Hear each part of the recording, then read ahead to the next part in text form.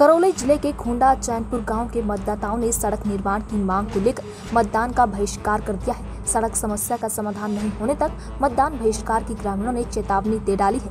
वहीं कांग्रेस भाजपा दोनों पार्टियाँ सहित विधायक और कलेक्टर के खिलाफ जमकर नारेबाजी कर विरोध प्रदर्शन किया।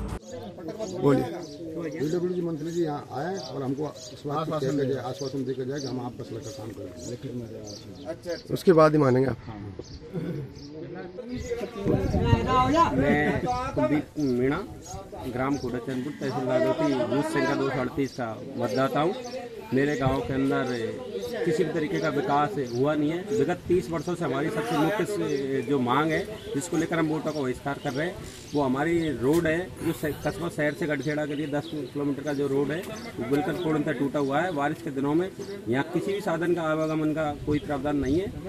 हर बार कोई भी प्रत्याशी आता है तो यही कह के जाता है कि रोड बनवाएँगे। लेकिन पिछले तीस सालों से आज तक इस पे कोई भी वर्क का काम नहीं हुआ है और हर बार ये आश्वासन दिया जाता है और वोटों को ले लिया जाता है। गाँव वालों ने अब की बार इकट्ठा होकर एसडीएम को भी ज्ञापन दिया, कलेक्टर को भी ज्ञापन दिया।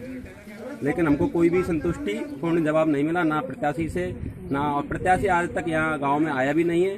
तो हमारी मांग यही है कि सबसे पहले तो पीडब्ल्यूडी विभाग का जो मंत्री है, सचिन पायलट मीणा, वो सचिन पायलट वो यहाँ आए और हमको सारे कलेक्टर के सामने आके और हमारे विधायक के सामने यहाँ बुलाकर, पूर्व सर्वसम्मति से पूरे गाँव के सामने आकर ये कहे कि इस रोड का मैं लिखित में आदेश करता हूँ, आचार संहिता जैसे ही खत्म होगी, चौबीस तारीख से इस रोड का हम चालू किया जाएगा। तो ही गाँव वाले वोट डालेंगे, अन्यथा वोट नहीं डालेंगे।